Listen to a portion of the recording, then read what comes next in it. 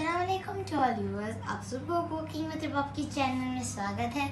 आज मैं बनाने जा रही हूँ एक अरबिक डिश जिसे कहते हैं जिसे कहते हैं मशबूस जिसकी चिकन का मैरिनेशन बनाने के लिए हमें चाहिए एक कप दही।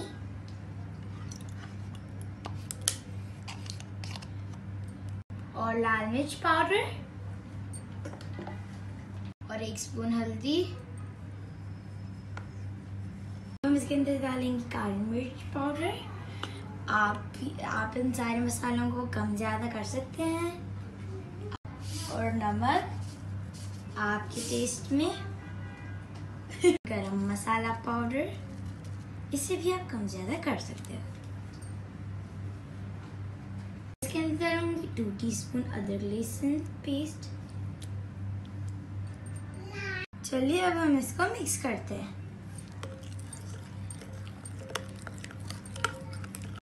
आप देख सकते हैं हमारा मैरिनेशन रेडी हो गया है। हम लोग ने यहाँ पर लेग और थाई के चिकन लिए बड़े बड़े चिकन लिए हुए हैं। आप चाहे तो आप चाहे तो इसका स्किन निकाल सकते हो। हम लोग ने स्किन के साथ लिया है। तो चलिए, अब हम लोग इसका मैर अब हम लोग मैरिनेशन इसके ऊपर लगा दें चलिए, अब हम इसके अंदर चिकन को इसके अंदर डाल दें और इसके ऊपर मैरिनेशन लगा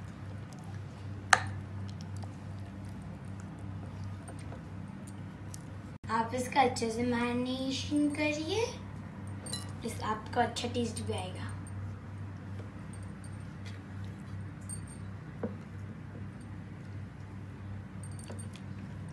ये मैंने दूसरा पीस लिया है।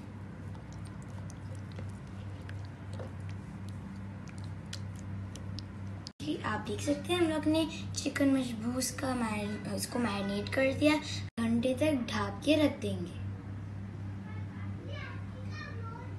हम लोग ने कढ़ाई ले ली है। कढ़ाई के अंदर मैं डालूँगी एक कप तेल। और इसे मैंने खड़े मसाले ले लिए। खड़ा मसाला में मैंने लिया है लौंग और दालचीनी, इलायची शाजीरा और तेज पत्ते। अब हम लोग इसके अंदर डालेंगे।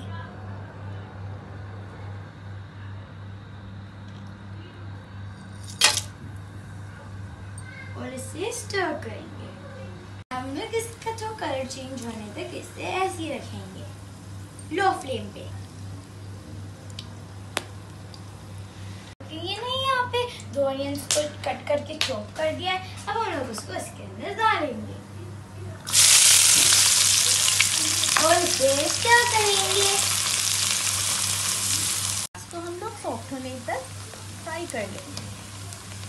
क्या सॉफ्ट हो गई है? तो चलिए हम इसके अंदर अदरक लहसुन डालते हैं हम लोग इसके अंदर डालेंगे हल्दी। आप इसे कम ज़्यादा कर सकते हो और इससे हम अब इसके अंदर मैं डालूँगी लाल मिर्च पाउडर। और इसे स्टर करूँगी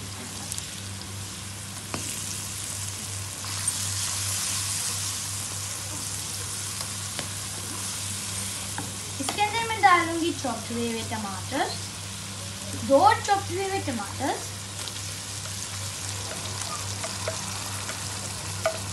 और फिर इसे मैं फिर से स्टर करूँगी। आप इसे अच्छे से स्टर कर करिएगा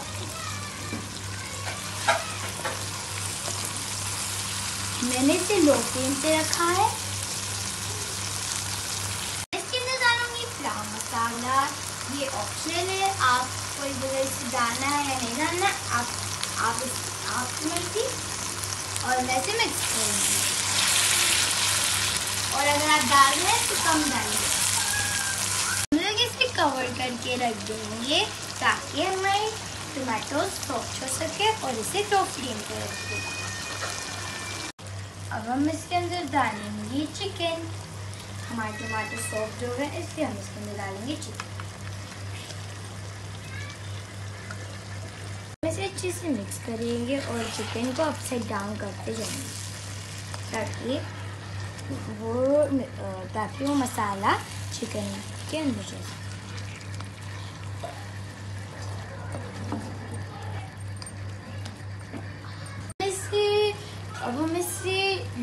मीडियम फ्लेम पे ढक कर रख फिफ्टीन मिनट्स तक रख देंगे। ये देखिए हम जो अपनी चिकन को गलने के लिए रख दिया था ना। फिफ्टीन मिनट्स तक, अब ये फिफ्टीन मिनट्स हो गए। और देखो किचन चिकन मसाले अच्छे से पक गए हैं? हम लोग ने इसे फिफ्टीन मिनट्स तक रखा था। अब फिफ्टीन मिनट्स हो गए हैं। तब मैं इसके अंदर डालूँगी तीन गिलास पानी। थोड़ा सा नमक डालूँगी और इसे 10 मिनट तक हाई फ्लेम पे ढाप कर रख दूँगी। ये एक नींबू हमने लिया है इसको हमने तवे पे रोस्ट कर दिया है। ये एक स्पेशल इंग्रेडिएंट है इसकी जिससे बहुत अच्छा फ्लेवर आएगा। तो ये भी हम लोग एक नींबू इसमें डाल देते हैं। चिकन अच्छे से पक गई है। चलिए अब हम चिकन को निकालते हैं। और इसे फ्राई करते हैं।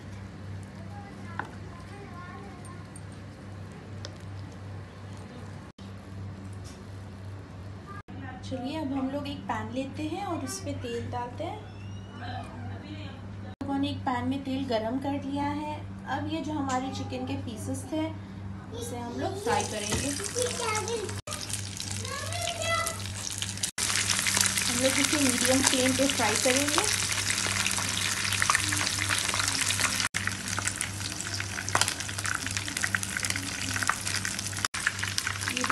हमारी चिकन अच्छे से फ्राई हो गई है।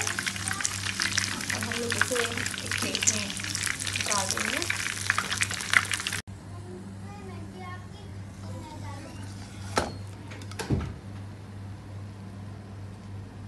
ये चावल हमने भिगाया था, अब हम लोग इसे, इस सालन में डालेंगे। दो घंटे। ये मजबूस का चावल रेडी हो गया है तो चलिए अब हम इसे निकाल देते हैं। जब हम सर्व करेंगे। अब हम इसे सर्व करेंगे प्लेट